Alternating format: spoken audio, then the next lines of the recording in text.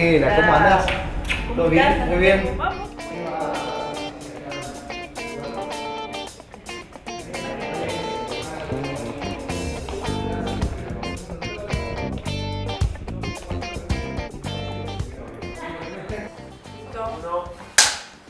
Carly Jiménez, bienvenido al ciclo de diálogos nacionales. Bueno, un gusto. ¿Cómo andas, Gela? ¿Todo bien? bien? Todo muy bien. Gracias por invitarme. ¿Cómo es, Carly, mm, la niñez y la adolescencia eh, siendo el hijo de la Mona Jiménez? Eh, para mí todo transcurrió con normalidad. La niñez. La adolescencia fue un poco más compleja porque, eh, viste, uno ya empieza como a, darse cuenta, viste, uno, yo me considero una persona sensible desde muy chiquito. Entonces eh, podía apreciar ese tipo de, de, diferencias en algunos lugares cuando entraba con mi papá. Ah. Eh, nosotros nos, eh, mis viejos hicieron la casa en el Cerro de las Rosas. Teníamos de compañero al abogado, al contador, todos profesionales en la cuadra. Y ahí estaba la casa de la Mona Jiménez, el cantante de cuarteto que rompía un poco con, la, con, la, con el clima eh, profesional y de una cierta clase social. Yo lo percibía, lo sentí, viste, de una, una... ¿Una diferencia? Una diferencia. De hecho, una vuelta, por ejemplo, una anécdota que, que nos tienen en la puerta con mis viejos un domingo que nosotros casi los domingos nunca comíamos juntos porque mi viejo laburaba, labura todos los fines de semana y los domingos son días sagrados para descansar. Claro. Entonces, eh, nos levantamos y nos lleva a comer a un restaurante de la zona del barrio y bueno, nos, nos ven ahí, ¿viste? El restaurante estaba lleno, pero había mesas. Eh, no, no, no, nos atiende nada, estuvimos esperando. Venía gente después de nosotros que los ubicaban y se sentaban. Y, y en un momento mi viejo nos agarra, viste, una mesa ahí y nos sentamos. Y se acerca un tipo y le dice, medio en el oído, le dice, por favor, señor, le pedimos que se retire, la casa se reserva el derecho de admisión. No. Ahí entendí lo que significa el derecho de admisión, ¿viste? este tipo de cosas me, empezaban a, despertar situaciones complejas, ¿me entendés? O sea, sentimientos complejos. Por un lado, bronca con la gente porque mi viejo no era ladrón, ¿me entendés? No hacía nada malo más que cantar música, música de cuarteto, música, nuestro folclore de Córdoba. Em, y por otro lado, también un poco la, sensación de rebeldía, ¿me entendés? Ante mis padres y, verlo un poco responsable de, de esta diferencia, de no poder ser aceptado tampoco en, en, grupo social. E, estas dificultades o este tipo de presiones que vos tenías, ¿tuvo algo que ver con tu decisión de irte a Buenos Aires a estudiar? Claro, yo terminé el cole a los 17 años y me fui. Me fui así, viste, como que... Em, aproveché que mi... Sí, me escapé. Aproveché que mi hermana estaba allá grabando una novela em, y dije, bueno, mortal, me voy. Voy a hacer el aguante, voy a acompañarla. Y él se volvió, yo me quedé. Eh, y ahí empecé, yo, yo, ya estaba estudiando acá música, em, ya venía grabando con mi papá en el estudio, manejando eh, los equipos de grabación, entonces cuando fui allá me inscribí en una carrera de, ingeniería de sonido, entonces fue como la mejor excusa como para quedarme y ahí hice un disco de música, de rock. ¿De rock? Claro, yo sabía muy bien que quería hacer música, pero no, no todavía tenía claro si era arriba de un escenario componiendo, trabajando como productor. Em, así que bueno, fue todo un proceso también de encontrarme, que me, ayudó a haberme alejado un poquito de, toda la, de esta caldera que sucedía acá en Córdoba, donde no podía encontrarme, no podía encontrar mi personalidad, siempre era el hijo de. ¿Y esa relación con Córdoba, cómo era? Porque de repente volviste. Sí, era rara, no me no venía mucho, ¿viste? O sea, cada vez que venía, eh, por ahí iba iba a verlo mi viejo, viste, por ahí ya la última vez poco, eh, y me encuentro con, con, una vez leyendo el diario, estaba en el estudio, yo había armado un estudio con, una, con un amigo en San Telmo, estaba leyendo el diario y leo un titular que es La Mona Jiménez internado por eh, un cuadro de, respiratorio. ¿Viste? Entonces digo, ¿qué? Mi, viejo no mi vieja no me avisó, nadie me dijo nada. Me di cuenta que hace una semana no hablaba con ellos. Eh, los llamo por teléfono y me fui directamente, me tomé un avión y me, fui, me vine para Córdoba. Así que cuando pasó esto dije, bueno, voy a empezar a ir al baile para acompañarlo y verlo, si no, no lo voy a ver. Y en ese momento de que lo estoy acompañando, eh, un viernes al sábado, uno de los coristas que él tenía se, se va porque tiene un problema el padre y me dice, haceme la onda. Este sábado, que subir. Sí, estudiaste, este, pagué las clases de música toda, la, toda tu vida, ¿me entendés? O sea, haceme una gauchada. Claro. Le digo, bueno, dale, todo bien, vamos. Cuando subo al escenario a cantar, tenía que cantar un par de canciones encima de él, porque no tenía repertorio propio de cuarteto y no sabía las canciones que cantaba el corista anterior. Eh, claro, tocar temas de la mona, en el baile de la mona, pero que no sea la mona, es como, ¿entendés? O sea, estás, jugando con fuego, viste, en una situación muy complicada. La gente no te lo perdona. Y eso, eso pasó, viste, yo estoy empezando a cantar y empiezo a sentir silbidos, puteadas de acá, viste, de aquel lado dije, me quiero morir. En un momento dije, me quiero, ¿qué estoy haciendo acá? Viste, quiero estar en, de vuelta haciendo un NN en San Telmo, grabando, produciendo, haciendo música, sin exposición esta y en un momento que me quiero ir, aparece él en el escenario y me, acompaña cantando. Y ahí tuvimos una conexión que nunca la habíamos tenido antes. Como que ya está, perdonamos todo lo que pasó, porque también creo que él de su manera decía, che, mi hijo no me da bola. Es mi único hijo varón y no puedo compartir con él nada porque no me da bola, porque piensa que yo soy, hice algo malo, ¿me entendés? Entonces, toda esa cosa sucedía y en ese momento hicimos las paces. Qué bueno. Entonces yo después de eso no me bajé más del escenario.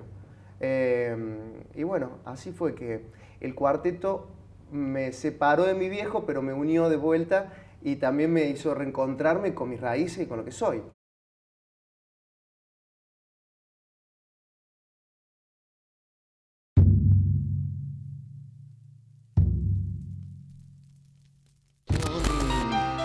El escenario más duro es la vida que te tocó. Heredera de la luz. ¿Y Nina, qué decís? Ay, no sé, no sé qué decir. Yo, me encantaría. te agradezco un montón. Lo que pasa es que no sé el bicho. El bicho nunca te va a dar el lugar que vos te mereces.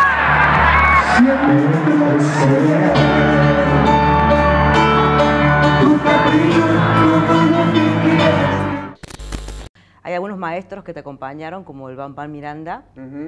Y bueno, quería preguntarte qué, ha significado él en, tu formación, o si ha habido otros maestros eh, en, tu carrera.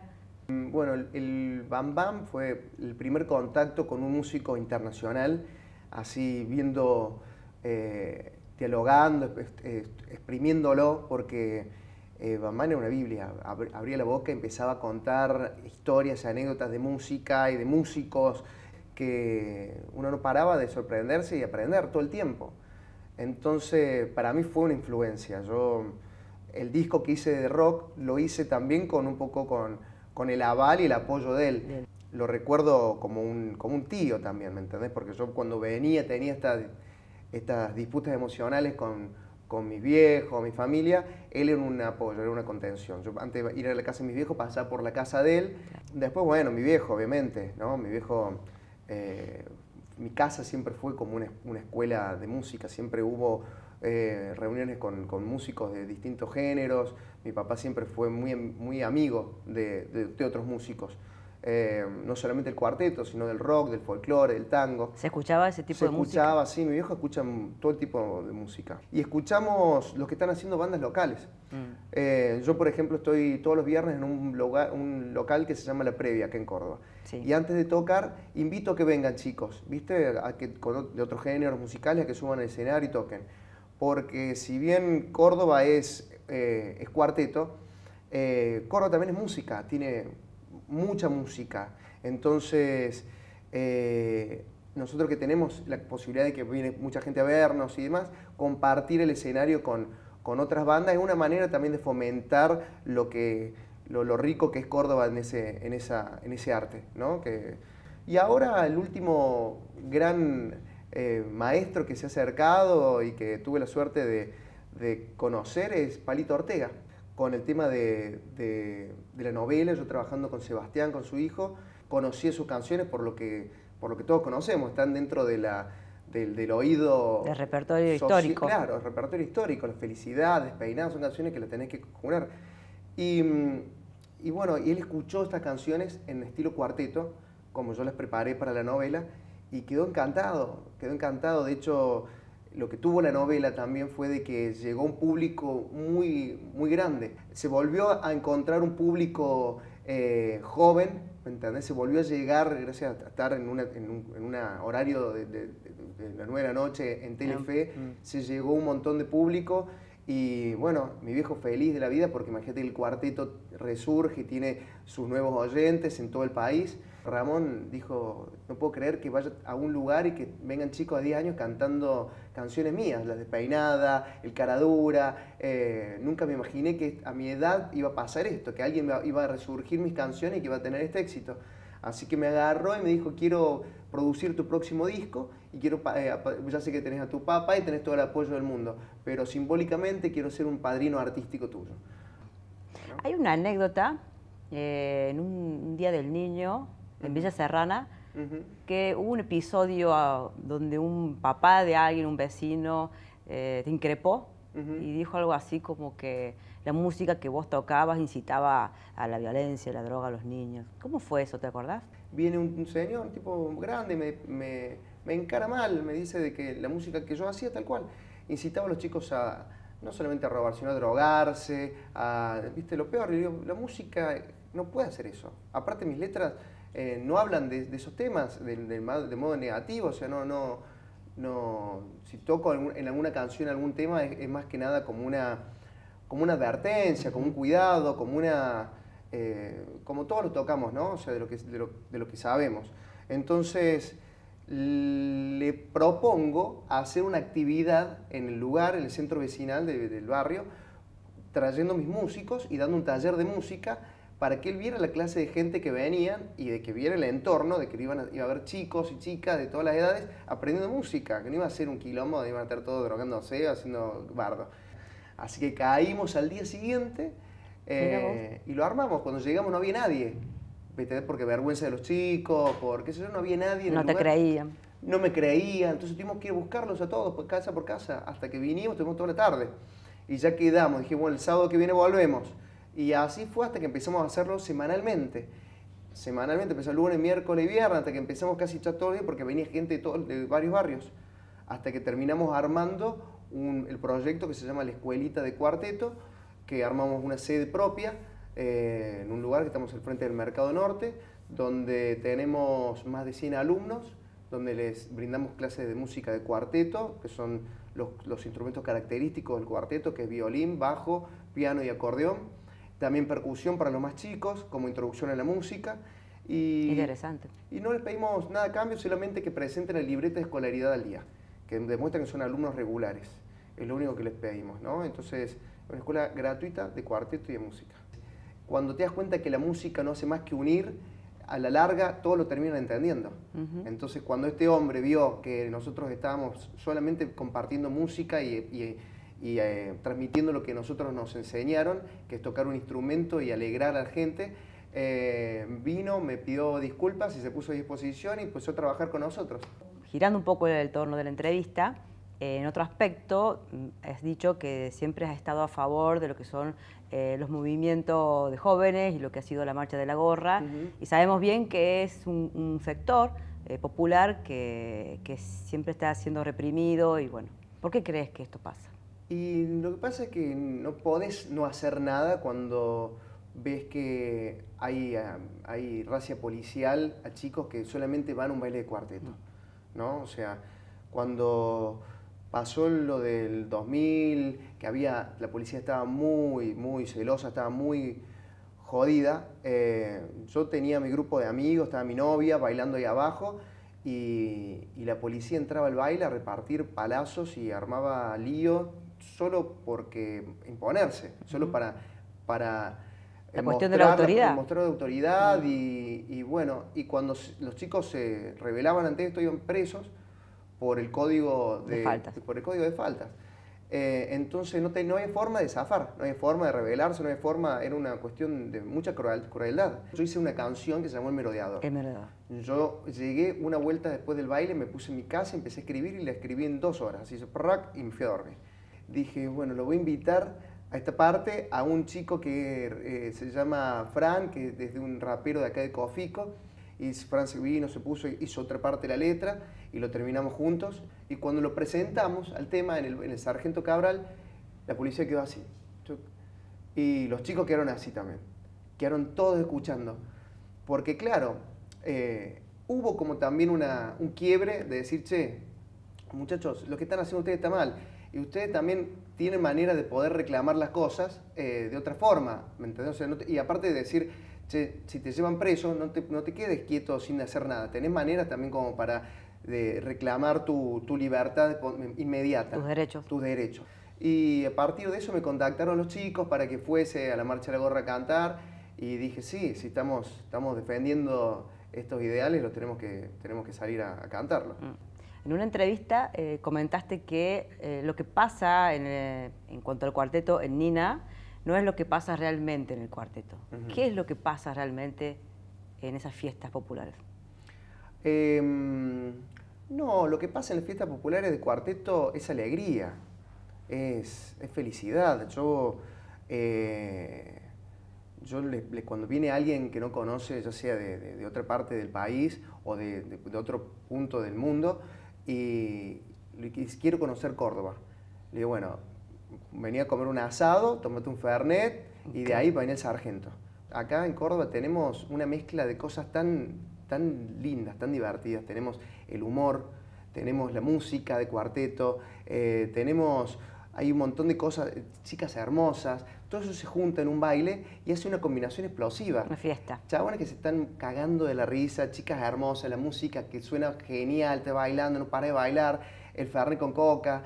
Entonces, eh, somos un pueblo muy alegre y, el cuarteto hace, es, un gran pilar de que mm. nosotros los cordobeses seamos como somos, ¿no?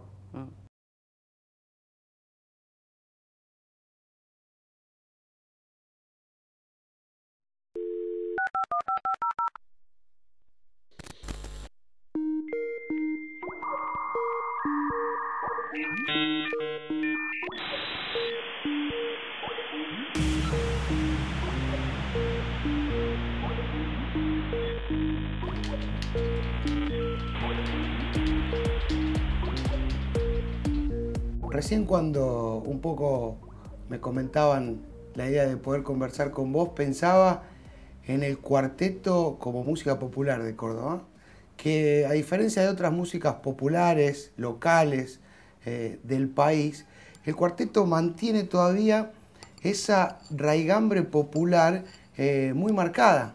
Y lejos de eh, la idea de institucionalización que hay con otros géneros como de estandarización, en todos los estratos sociales. No sé cómo lo ves vos eh, desde adentro de, del mundo del cuarteto. Yo creo que sí, que está, está, bien lo que decís, está bueno.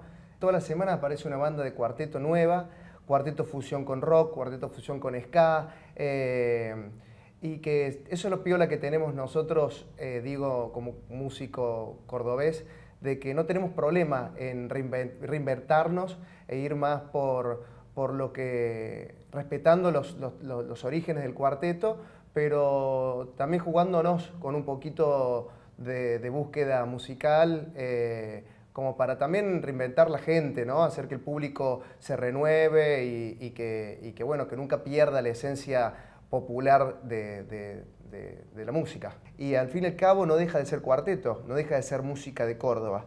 Por eso cuando muchos músicos dicen, che, pero no hay, en el Córdoba no hay, no, hay, no hay espacio para el rock, o no hay espacio para el funk, no hay espacio, hay espacio, hay mucho más espacio del que, del que piensa. ¿Crees que eh, hay eh, en esa idea cierto prejuicio que muchas veces tiene que ver con la raíz popular de vuelta del cuarteto?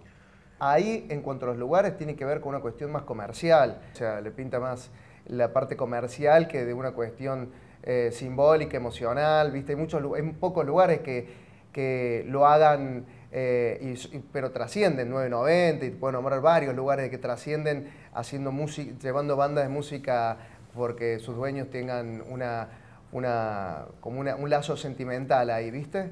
Hay, hay, hay lugares para todo, yo creo que nosotros también estamos eh, tocando en algunos lugares, probando algunos lugares de cuarteto nuevos, acá en Nueva Córdoba, eh, en algunos va bien, en otros no van gente, porque también eh, viene gente, si existen prejuicios, que existen prejuicios en todas partes, ¿me entendés? Gente que dice, che, que viene Villa Libertador y dice, yo no me acuerdo, no voy ni en pedo. Eh, hay expresiones que desde los, los, espacios más populares han, han ganado bastante adeptos en la Argentina a la hora de buscar una forma genuina de expresarse. Eh, ¿Ves esa convivencia en los lugares en donde por ahí antes había casi solo cuarteto a, la hora de elegir una música una, o una manera de expresión por parte de los más pibes que por ahí arrancan con su instrumento? Yo llevé a tocar a, la previa, que es un boliche de Nueva Córdoba, donde tocamos todos los viernes, una banda de reggaetón de Río Ceballos. Yo lo que le decía de que metiera en la, en la poesía, eh, tocara fibras eh, sentimentales de lo que nos sucede a nosotros, que no hables de la playa y del, y del perreo, de la minita, sino que toque temas de que no, no, quiero ser trillado, pero te digo, de Fernet con coca y de esto y el otro, ¿me entiendes? O sea, podés tocar cosas de lo que suceden con una, con una poesía o una lírica, ¿me entendés? Distinta y con un estilo de música distinto, ¿me entendés? ¿Y vos cómo te llevas con eso? Muy bien, yo siempre hice discos que me gustaron, ¿viste? Eh, cuando saqué el Ejército de Chicos, que tocaba el tema como merodeador, eh, lo regalé directamente, lo puse, eh, lo colgué de internet estuvo no sé cuántas descargas, el video fue de los más vistos. Después saqué el, Tumbando Rejas con más temas sociales y por ahí no tuvo la misma repercusión. Em, ahora estoy tocando temas de... El último disco fue el disco de la novela, Educando a Nina, que no tiene ningún tema social, pero sí pegó con la gente. Eh, por eso mismo uno tiene que, ir viendo, no con eso dejas de, dejas de lado, ¿me entendés? Porque yo, por ejemplo, no dejo de lado mi mi, búsqueda por, por, el, por el trabajo social, porque tengo una fundación, damos clases de música de cuarteto, pero quizás el momento adecuado no sea eh, este para sacar un disco tocando esos temas, ¿entendés? Eh, hay que encontrar la vuelta, tampoco está bueno salir disparando para todas partes y que, que no te escuche nadie y que el mensaje por no, por no tener el tacto para encontrar el, el, momento justo no, no llegue a ningún mm. lado. Hay que ver cómo lo recibe la gente, ¿me entendés? Si la gente lo escucha y dice, sí, pero no está Nina, no está la cheta, y bueno, hay que también eh, empezar a, desprenderse de ese público que solamente está esperando hits radiales, ¿no? En vez de ir, acompañando el crecimiento artístico de, un músico. Desafiar la agenda. Bueno, César, eh, quería saludarte a vos, eh, gracias por este tiempo, este espacio, y bueno, y también a, a Carly por este diálogo. Y bueno, eh, muchas gracias. Un abrazo grande, César. Un gustazo, loco. Un abrazo, un abrazo, Carly, un abrazo a todos por allá y gracias por la invitación. ¿eh? Gracias a vos.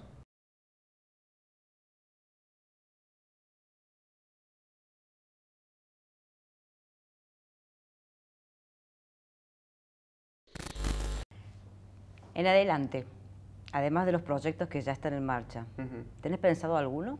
Eh, me fue bien este año, solamente fluyendo, ¿viste? yendo para donde, donde me llamaban, eh, haciendo cosas eh, donde me invitaban.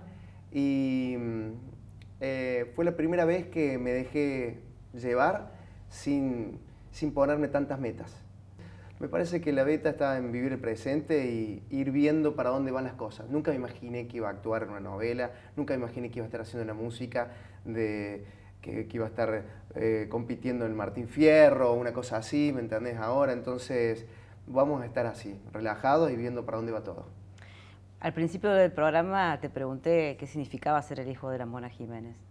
Ahora te pregunto qué, tiene de bueno ser el hijo de la Mona Jiménez. Y hay una, hay una herencia muy positiva, hay una, una herencia de mucho cariño eh, que, que mi viejo sembró en todos los cordobeses y de que, de que uno, uno la lleva, la lleva con, con, mucho orgullo, con mucha felicidad. También me pasaba de ir caminando por la calle y pasar por una obra y, toda la gente, todos los muchachos trabajando, pidiéndome fotos, saludos, besos a mi papá. Eh, por suerte eso fue lo más. El, el hijo del, del, dueño del restaurante va a los bailes de mi viejo.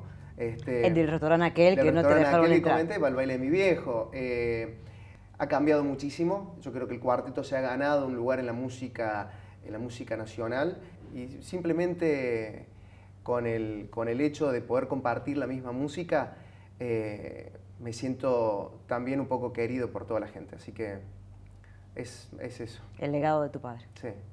Bueno, Carly Jiménez, muchísimas gracias por participar en este ciclo de Diálogos Nacionales. Ha sido un gusto tenerte acá. Muchas gracias a vos.